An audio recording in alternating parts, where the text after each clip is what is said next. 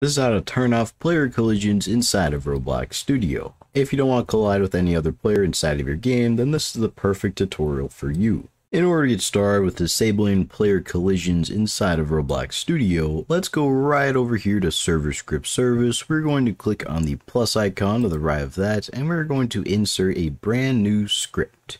This script, let's go ahead and double click or just click on it while you have it selected, and we can change the name of this script to player collisions just like this because it's going to be the script that we use to disable player collisions. Now, starting up here at the top of our script, let's get rid of this print statement, and I'm going to start off here with a comment, and I'm just going to say services. I personally use comments like these because I like to keep my code nice and organized, and I like to keep the different segments of my code kind of sorted into the different, I guess, classes that they are. Functions, variables, service variables, and the like. Now, starting up here, let's start off by getting the player's service, which is going to be equal to game get service quotation marks players. if you don't know what the player service is, it's this player service that you'll see right here inside the Explorer, and as you'll see, is responsible for holding on to all of the players inside of your game. From there, let's also get a service called physics service. So physics service will be equal to game colon get service physics service. Now physics service is all about collision groups and collision groups are pretty much groups of objects that are used to collide with other objects in different types of ways than usual, or just different types of collisions for different types of groups of objects, pretty much. Now let's go down here and we're going to create another comment for our variables. And inside of this variables comment right here, we're going to say local collision group will be equal to player characters we say that this collision group is going to be equal to player characters because this is the name of our collision group that we're going to be creating. And this is for the player's character that we're going to be assigning to the collision group. And that way they cannot collide with each other. And then let's go down here, create another comment for our functions. And we're going to say physics service colon register collision group and this will be quotation marks. Actually, we don't need the quotation marks. We can just say collision group right here.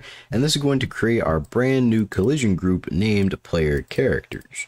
And then underneath this physics service register collision group line, we can say physics service colon collision group set collidable.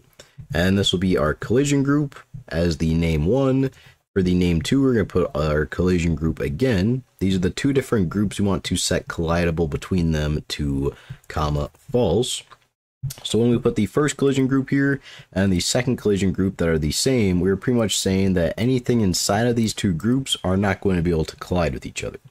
And that's what the false is for. We're saying can collide equal to false. If we were to set this to true, then that would mean that they can collide with each other, but we're setting it to false, which means that they cannot. Now we have that done, we need to actually go ahead and set the parts inside of our player's character to the specific collision group in order to turn off collisions.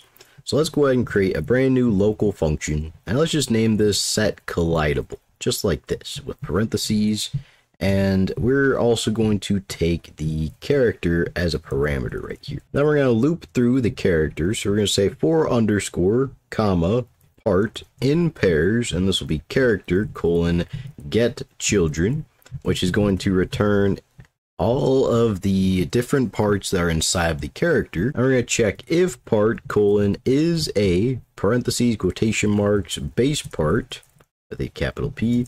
Then we're going to say part dot collision group will be equal to collision group, just like this. So we're assigning the collision group of the part equal to the collision group that we registered over here. And we're doing that for each of the parts that are inside of the character right here.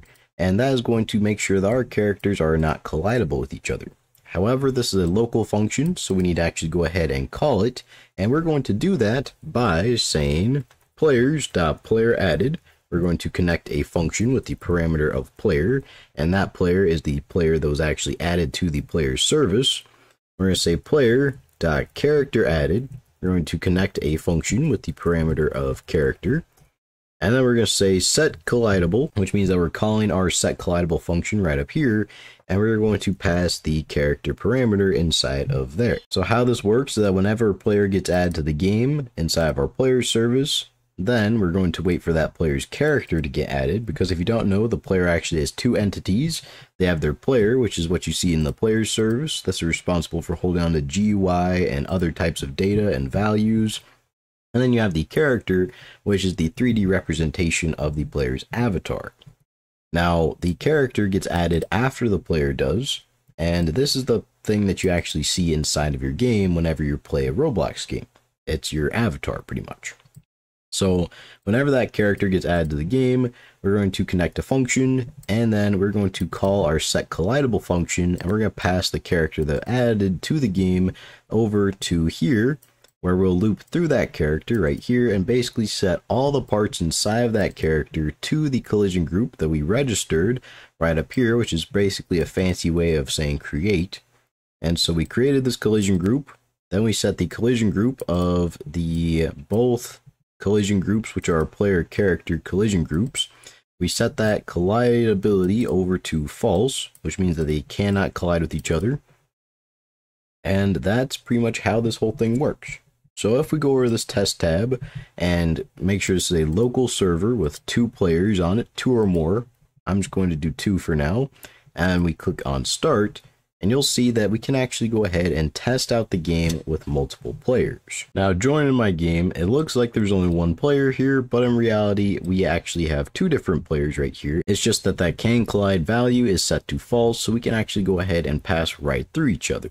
Now, if you'd like to make sure that can collide is turned on again, you can simply go back to that script and then set it to true instead of false. However, since the reason why you're watching this video is to disable player collisions, you probably don't want to do that. So now we cannot collide with each other anymore. That is pretty much going to wrap up today's tutorial. I want to thank you so much for watching. If you enjoyed this tutorial just as much as I did, please make sure you like, subscribe, and comment down below. I hope you have an absolutely fantastic rest of your day, and I will see you in the next tutorial. Goodbye.